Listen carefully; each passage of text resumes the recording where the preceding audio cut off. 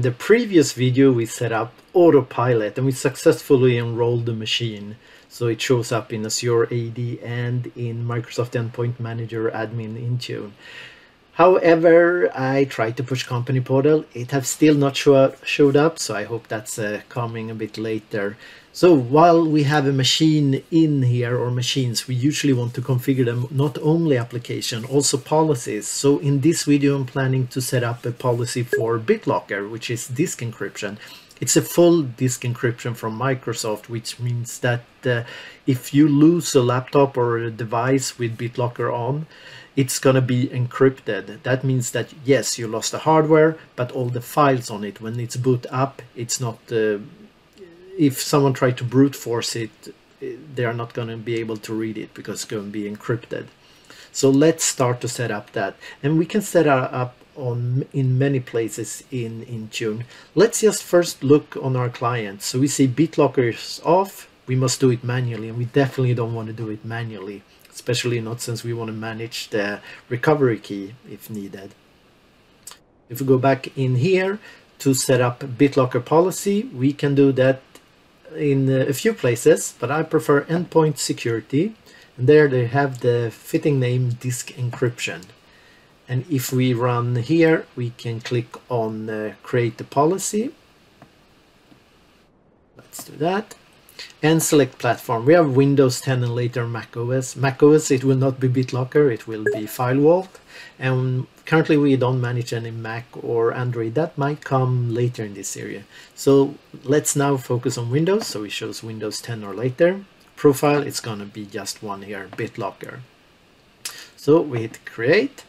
Let's put the name. I'm going to call this one GBN BitLocker policy and GBN disk and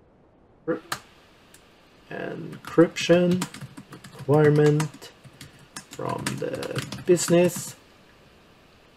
And we go next and here we have uh, I'm gonna minimize four settings to set up. I'm gonna set up them all. I'm gonna be re very relaxed on removal drives and I'm just gonna do basic settings this is by all means not one fit all whatever you need but just to get the disk encrypted. So enable full disk encryption for OS and fixed data drive drives yes very much. Requires storage card like USB uh, uh, that plug. That could be nice. I'm gonna leave that for now. Not um, require that hide prompts about the third-party encryption yes and then we get some other option here allow standard users to enable encryption during autopilot yes we definitely want that configure client-driven recovery password yeah we will do that. We will enable to rotate the key and we will do that for Azure AD join device. Since we set up a new tenant, we will not join to uh, on-prem AD, but if you uh, are in the migration or have a mix of hybrid and Azure, you can choose here. I'm going to choose Azure AD join device only since that's only what I got. So those were the base settings. That goes pretty quick. These two are a bit longer, more settings fixed drives if we configure and we will do that. So uh, recovery, uh, yes please. Recovery field creation, no we block that. We're just gonna have it uh, in Azure AD. Configure BitLocker recovery package, password and key, that's fine. Require device to back up recovery information to Azure AD, very important. Yes, we want that. Uh, recovery password creation, we can uh, allow that. Hide recovery options during BitLocker setup. Yes, we want it silent. Enable BitLocker after recovery information store. Unsure what that is. Uh, save to active. We say yes to that. We can say yes to block that one also. We could block write access to fix the drives that is not protected. I think yes, there is a pretty good option, but I'm gonna not configure that for now. And here, configure encryption methods. We have four different. And 256 is more secure than 128, so it should be a one-brainer to always select that. But it also take more resources, so I'm actually going to go with the 128-bit. But for security, you should probably choose uh, 256. So we have done that part. Now BitLocker OS drive settings, which looks a bit like uh, fixed drive. So we configure this one. Startup authentication required, yes. So when the machine start up, it needs to authenticate to uh, decrypt the, the disk so it can read the windows and everything. And I'm gonna go with require TPM, which shouldn't be an issue because Windows 11 require that anyway. And I'm gonna block all the others. And I mean, again, for higher security, it would be good to uh, enter pin code at each startup, but that annoys users. And also, if you restart a machine remotely, it will be stuck and a physical person will have to be there and put in the pin code. So uh, good for security, but TPM is totally fine. That unlock the drive automatically, unless you have changed uh, too much hardware or tried to brute force. Then it will uh, lock itself and require a recovery key. Uh, disable BitLocker on device where TPM is yes. There is no idea if they don't have BitLocker uh, TPM, it will not work anyway.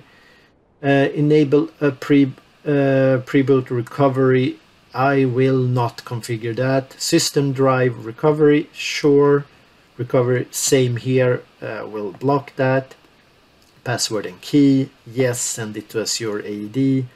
Uh, recovery password creation that we can allow, hide during um, BitLocker setup, the same here, we send to the store, we block, same as before, and we put the same encryption.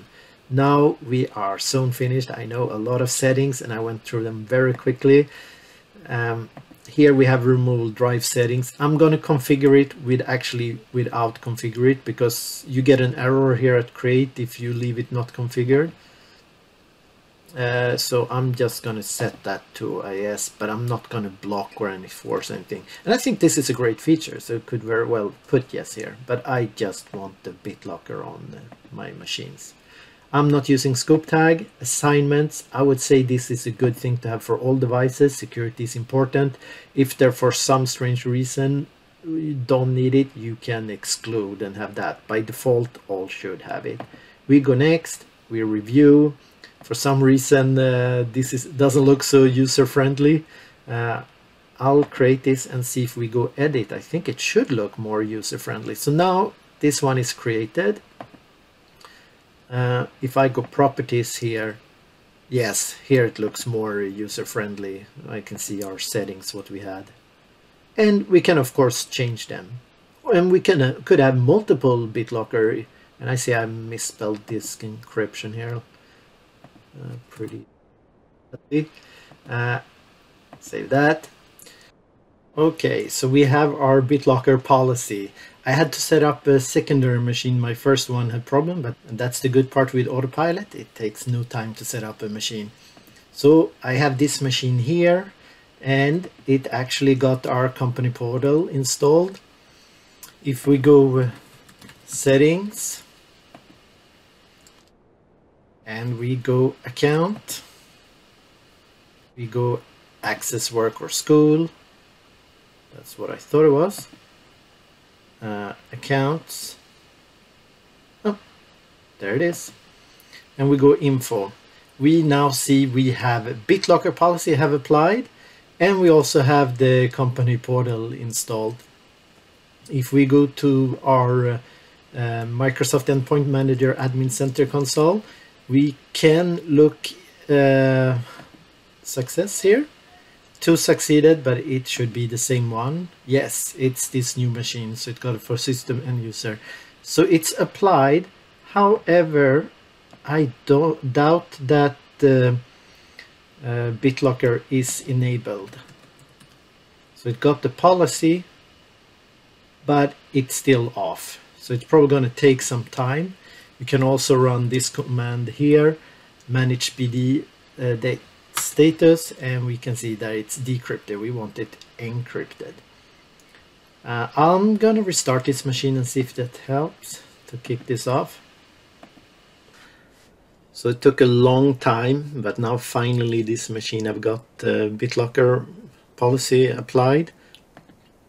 We can see that uh, here that we got the policy BitLocker that we had before, but actually took some time before it um, actually executed. So here we have BitLocker is on.